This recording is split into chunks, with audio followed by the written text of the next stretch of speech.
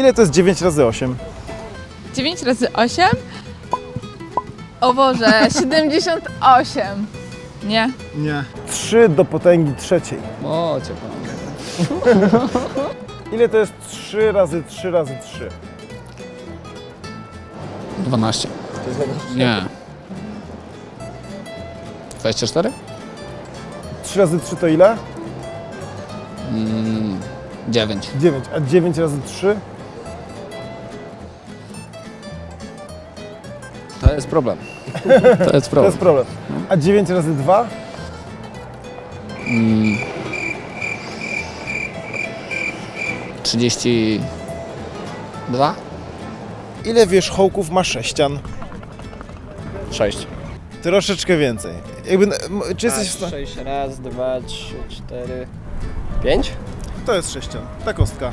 No Ile dobra, ma? Raz, dwa, trzy, cztery, cztery razy, raz, dwa, trzy, cztery, osiem, szesnaście, dwadzieścia jeden? Nie najprostsze pytanie. 9 razy 8.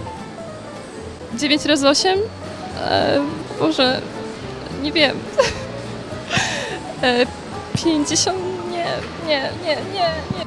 Czym się różnią liczby pierwsze od naturalnych? Pierwszymi to są te nieparzyste. Prawda? Znaczy, one zwykle są nieparzyste, ale to nie jest zasada i właśnie jeden... Podzielne przez, y, podzielne przez jeden czy przez zero, coś takiego było, jakieś podzielne muszą Prze być. Przez zero się nie dzieli. Ja czasami dzielę. Minus dwa do potęgi czwartej.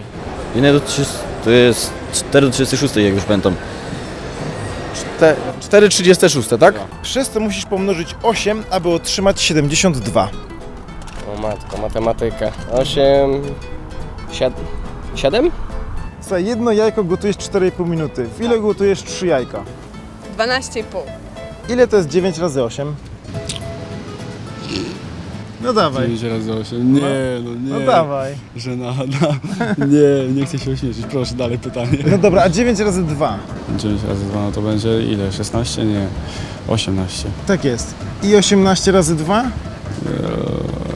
34? Eee, nie. 6. 6. A 36 razy 2? 36 razy 2 to będzie 52? Nie, Nie. trochę właśnie więcej. 4. 42 plus 17. 61. 3 plus 3 razy 4. 3 plus 3 to 6, 6 razy 4 to jest 12. Pomnóż jeszcze raz. Co jest pierwsze? Dodawanie czy mnożenie? Dodawanie. Jeszcze raz. Dobra, 3, 3 razy 4 12. plus 3. Eee, 20. Słuchaj, która figura jest większa? Trapez czy deltoid? Deltoid to taki latawiec.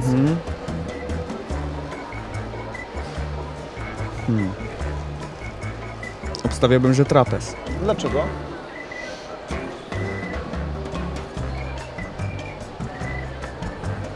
Jakby to powiedzieć, wydaje mi się większy. Jakby podzielić go na trzy części, to po bokach mamy dwa trójkąty i kwadrat po środku. Jedno jajko gotuje się na twardo 4,5 minuty. Ile czasu potrzebujesz, aby ugotować 3 jajka? 12. 9 razy 8 to jest e, 81. Czy ty byś zdał maturę w 2019 roku? Nie wiem, ale obejrzyj wszystkie odcinki Matura to Bzdura i subskrybuj nasz kanał.